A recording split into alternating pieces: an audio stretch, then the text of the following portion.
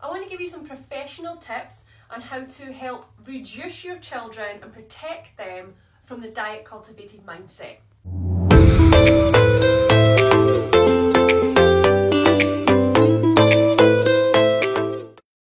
So before I go into depth, the diet cultivated mind is a powerful mind and it's a mind that can cause you to have years and years of struggles with body and food.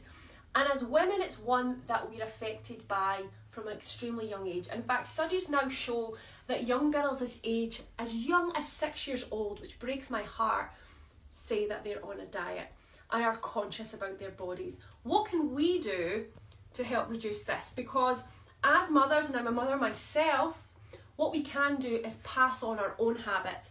And it never astonishes me, it never surprises me when I sit with a client and they make the realization that many of their difficulties were built in from a young age from watching parents and aunties and cousins or older sisters struggling with their body and with the diet cultivated mind. So what can we do? Okay, so I'm going to try and be as brief as possible. One of the first things is what's your language when it comes to the food and body? If you're talking about food in a negative manner, if you're talking about your body in a negative manner, you're building this in to the mind of the child. And this is where it all begins. Think about, am I body checking? Am I constantly comparing what I'm wearing and I'm not looking good enough? This all sits in the back of the child's mind. Am I weighing myself constantly? Are my children hearing me say that I'm on a diet? Are they hearing me battle with the scales? Am I deeming food as good and bad? Am I deeming myself as good and bad depending on what I've ate? So for example, I've been a real good girl this week, so I'm going to have this treat at the weekend, or I'm going to have this cheat at the weekend.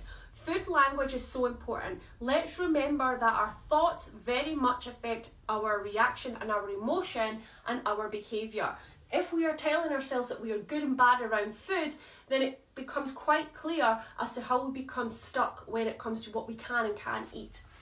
Looking at food as treats, this is one of the early stages where we can look at food as a comfort blanket by saying that food is a treat rather than looking at the quality of food and the purpose of nourishment. This, that, this video could go on and on, but one of the main things I want to get across is it's about promoting positivity, about positivity around the body, about positivity that who we are is most important, about positivity around eating habits, that food is not the enemy, it is neither good, it's neither bad. It's about the quality of the foods that we eat and why we eat it, to nourish ourselves, to ensure that we survive. If you would like any more information on this matter, or if you would like me to do a more in-depth video on any of the points that I've already made that could go on and on, please feel free to reach out below and I would also love to know your thoughts.